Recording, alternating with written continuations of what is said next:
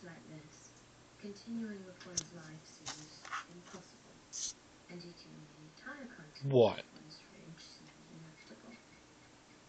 I have two choices. You're messing up my desk. to give up and accept permanent state of spinsterhood and eventual eating my dogs. Or not. This time I choose not. I will not be defeated by a bad man and American sickness. Oh, that's my money.